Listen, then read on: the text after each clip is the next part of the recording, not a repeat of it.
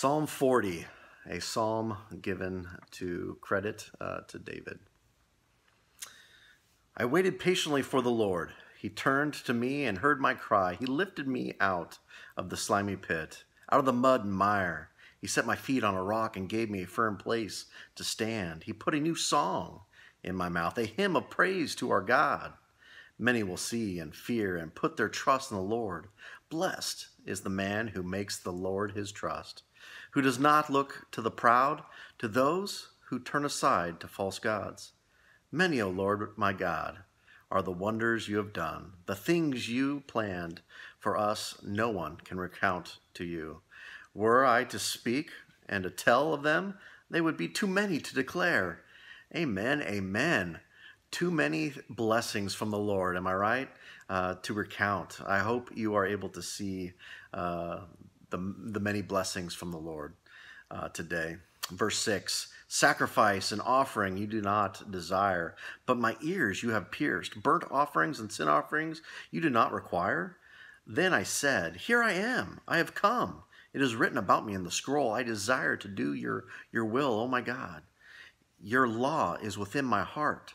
I proclaim righteousness in the great assembly. I do not seal my lips, as you know, O Lord. I do not hide your righteousness in my heart.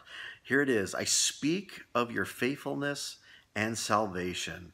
My hope is that you would regularly proclaim the goodness of your Lord and Savior Jesus Christ, the work He is doing in your life, that you would not just see it uh, active, you would not just see God's active work in your life, but you would regularly boast about it, uh, boast about the goodness of the Lord.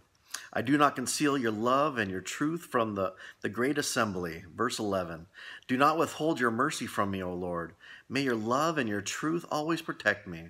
For troubles without number surround me. My sins have overtaken me, and I cannot see. Who's been there? Or your, your sins blind you. Uh, I know, unfortunately, I have, but the Lord's gracious and He is good, and He always bestows His mercy. For troubles, verse 12, for troubles without number surround me. My sins have overtaken me. I cannot see. They are more than the hairs of my head, and my hearts fail within me. Be pleased, O Lord. Come quickly to help me. May all who seek to take my life be put to shame and confusion. May all who desire my ruin be turned back in disgrace.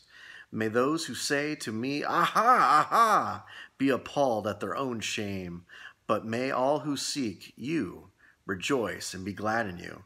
May those who love your salvation always say, The Lord be exalted. Yet I am poor and needy. May the Lord think of me. You are my help and my deliverer. Oh my God, do not delay. This this psalm really at the at the heartbeat for me, uh, and I, I, steal it from verse one, is to uh, wait patiently.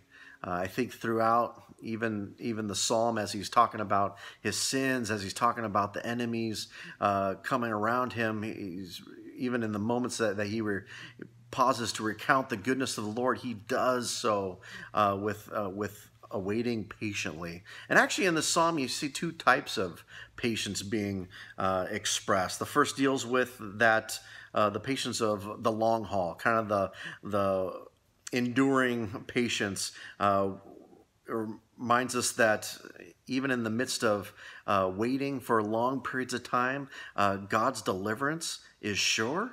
Uh, and it is worth the wait. And so, whatever you are waiting for, uh, continue on waiting. Continue to, to trust in the Lord in, the, in, that, in those endeavor. The second waiting is that durable waiting. This is that uh, expectant, that uh, anticipation. This is that um, it is coming, the, the, the childhood Christmas anticipation, uh, waiting.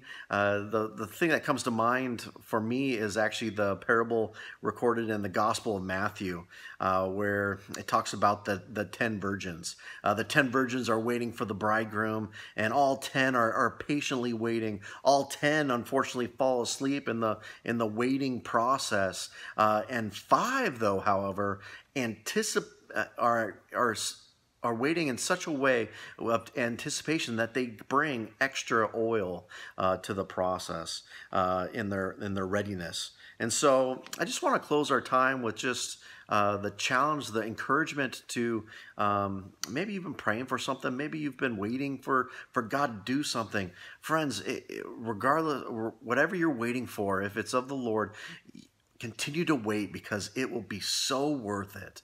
Uh, I, I, pray for strength. I pray for uh, your willingness to to endure during this waiting time. Uh, but where necessary, I also encourage you to, uh, with anticipation, to do your part as well. Uh, to to not not just wait, but to be prepared. Uh, and if it's gathering the extra oil uh, in that parable I, I just mentioned from uh, the uh, Gospel of Matthew, uh, I encourage you to um, be prepared, uh, full of anticipation as you wait for the, the Lord to, as you wait for the Lord's blessing. Wait for the Lord with patiently during this season. Well, God bless you and the Lord's strength in this season.